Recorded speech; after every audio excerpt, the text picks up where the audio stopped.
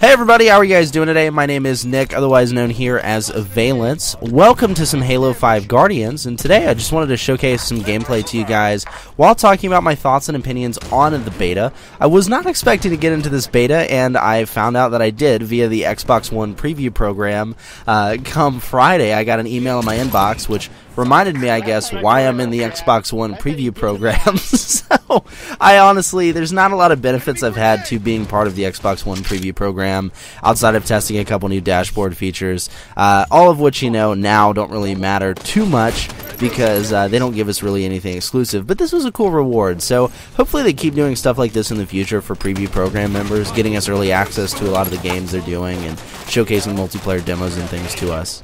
Uh, so yeah, Halo 5 Guardians. I was pleasantly surprised. Uh, now this is coming from a guy who I'm not a very hardcore Halo player. I want to go ahead and say that. And when I say hardcore, I mean I didn't play competitively, right? I didn't really get into the competitive side of Halo until very recently, actually, when I was offered a part-time position at Arena Gaming. Uh, for those of you who don't know, I actually was one of the two broadcasters on Arena Gaming for their last few tournaments before they uh, ended up kind of going under. But uh, I ran the live stream there and got really into competitive Halo. I helped run some of the brackets, but mainly what I was doing is swapping between cameras and learning the different parts of the game. So, with competitive Halo, I got extremely involved and interested at the tail end of Halo 4. Now, that being said, I didn't really enjoy Halo 4 because Halo 4 felt like it was 343 just trying to blatantly copy what Bungie had done in the past and add a couple things that may or may not make it their own, like sprinting, for example.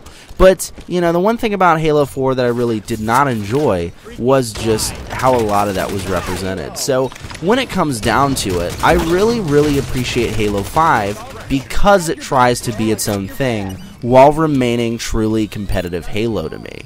Now, you know, what basically stood out here is that it's Halo. It's not something different where 343's tried to alter it in order to, you know, appease a modern crowd. But I will say that that has been done as far as the pace of Halo goes. So, one thing about Halo 5 Guardians is it's extremely fast. It is built fast, it is built to move fast, and you're constantly going to be moving around the map and trying to control various positions. You know, a lot of these things, though, I feel don't bother me too much because the traditional Halo things are in there. You've got descoping, your shields don't regenerate while sprinting, power weapons must be controlled because if they're not controlled, you're going to lose, and various things around those lines. No custom classes, I think, is another huge one, right? And I want to talk about all these things in detail, but first of all, I just want to chat about the movement. The movement in Halo 5 feels great, and there's a lot of little tiny balance changes that have made the movement feel good. In Halo 4, you know, you could sprint pretty much all the time. But now you have indefinite sprinting, which is something that I actually really enjoyed because you're Spartan. You're in a giant, giant suit. You're supposed to be a super soldier. The fact that you can't sprint consistently is something that bothered me. Now, you do have consistent sprinting in here. But they balance the consistent sprinting by adding, and I love this, whenever you're sprinting, you cannot regenerate your shield fantastic change. So by giving by sprinting, right, when you're, you know, in danger so to speak, you are sacrificing that shield regen. You have to do the basic movement in order to have your shield regenerate. That's something that's very welcome. It's a balancing act. Uh, two other things that they've added too are the suit powers. They both really showed these off during the gameplay trailer uh, for the Halo 4, or excuse me, Halo 5 multiplayer beta, which is coming in late December for everybody, right? The Boston Master Chief Collection. Um, one of these is the sprint charge. Uh, so when you're sprinting, after a couple seconds, you charge up a melee strike that if you push down your melee button, you will shoulder charge your enemy in a little third person view. Uh, I'm very pleased to announce that that is not very useful. Uh, most of the time, when I went ahead and tried the shoulder charge functionality out, I actually ended up getting myself killed. And the base premise here is that anybody who's a competent Halo player can kill you before you can shoulder charge somebody. Um, with the assault rifle, with anything of that nature, I mean, any weapon can pretty much take you out before you can execute a shoulder charge, unless you do it from behind. So it's very situational, and honestly, it's not the best thing in the world. Uh, same with the ground pound. So the ground pound is something you can use when you're in the air. You can hold down your melee button to charge up a ground pound, or excuse me, your crouch button to charge up a ground pound. Um, I always go ahead and I swap it to Fishstick because I'm a Call of Duty player at heart when it came down to that control scheme. So now that I'm getting back into Halo, I'm doing it that way.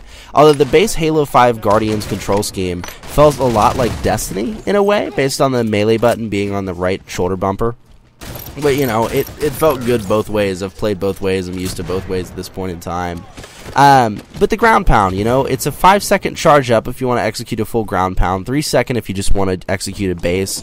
But again, in that point in time, it's only useful if you're coming up behind an opponent or you have the drop on your opponent, because any competent Halo player can kill you in the time it takes you to do the ground pound.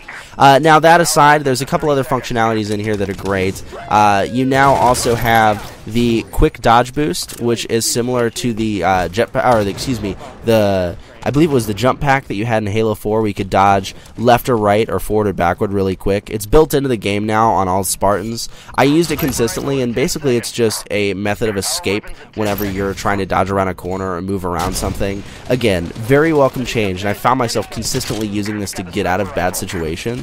It's something that works really well with Halo. It feels new even though I know it's been in previous games, and it functions similarly if you guys want a in-game comparison to the Call of Duty Advanced Warfare left and right. Now, I do feel like Halo had it before Call of Duty did, uh, just based on the fact that I know some people working at Halo, and I know they've been working on Halo 5 Guardians for quite some time to make it 343's own little pet project.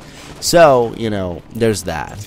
Uh, on top of that, I also want to go ahead and point out that uh, there are no custom classes in here, at least so far as I uh, played in this beta. So it did have different starting setups. It said the starting setup for my playlist, which was Slayer only throughout the period of this early access beta, was only uh, available as a Magnum and then an assault rifle start.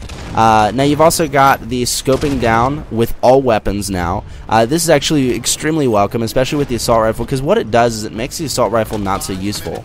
Now, longer range, you know, you're still going to be able to uh, get owned by a battle rifle or a DMR or a sniper rifle or anything of those, uh, anything of that nature, rather, because the assault rifle is a close range weapon. But the scoping allows the assault rifle to compete with various other guns like the battle rifle because it gives you a small window where you can aim down sights and focus your fire a little bit more. Now, descoping is in there, so if someone else is spraying you with an assault rifle, again, it'll descope you and it's going to go back to traditional Halo. I really appreciated these scope features and how it was added to every gun with uh, the zoom in via your visor because all it serves to do is make weapons that you would typically just at the beginning of the game more viable when you're trying to get involved with how things work. So, all in all, not bad. I really, really like the new scoping feature. Magnum's as powerful as I would like. The sniper's great. I was constantly using the sniper. My sniping's a little rusty, I gotta admit, but uh, I was slowly starting to improve my sniping. Um, but it's just one of those things that I will improve over time because I haven't really played a first-person shooter in about two months now uh, because I've been knee-deep in Dragon Age. But you know, throwing that aside, I do want to talk about one of the other new features that they added. It's very minuscule, but it fits perfectly with sniping. So whenever you're aiming down sights in midair, you'll actually pause for a brief one one, two seconds uh, using your jump jets in order to maintain your position. This was something that I used occasionally. I feel like it's a very situational ability or something, you know, I'll have to get used to before I'm using it continuously. But it's something that I thought was really cool. So I was actually able to pause in midair and pop off a couple sniper shots, which was really neat. Uh, again, this is just one of those small features that they did add.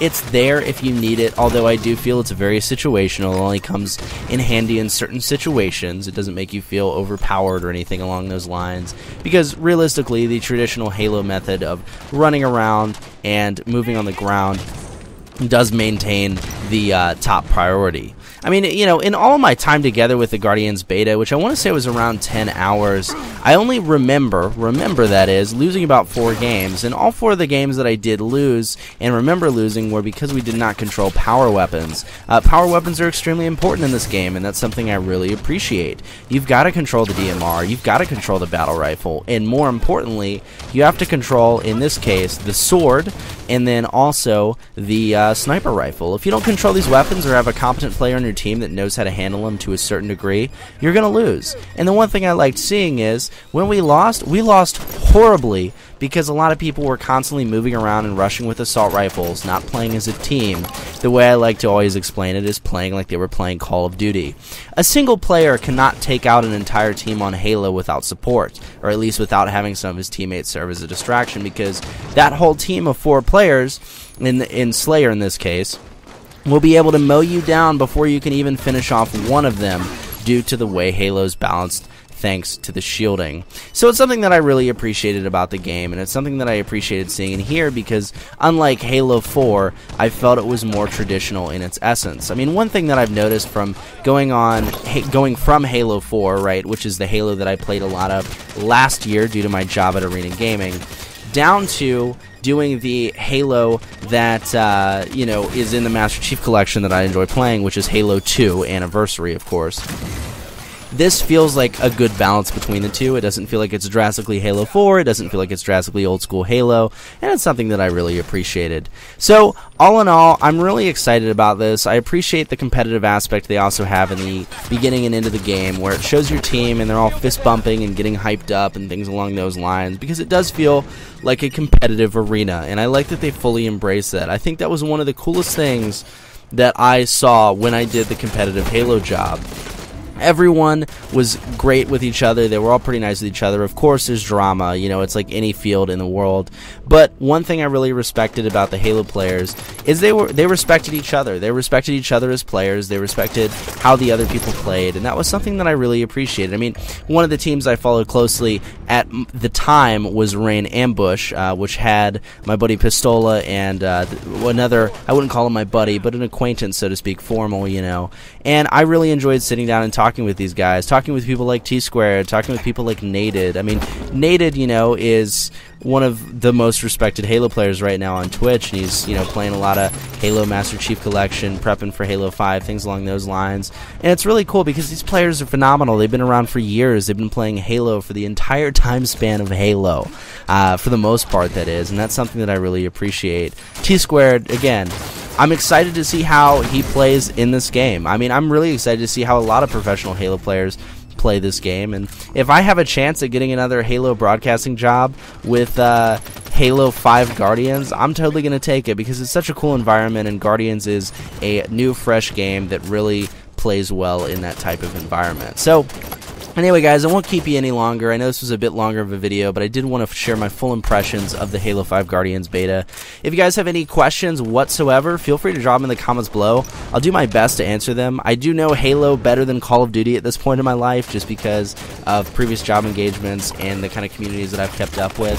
So I'll do my best to answer any questions you guys have. I also have plenty of footage. These are only two clips from my library of about six hours of footage. So if you guys like to see any more Halo 5 Guardians videos, or another commentary whatsoever, feel free to let me know in the comments below, and I will do my best to make that happen.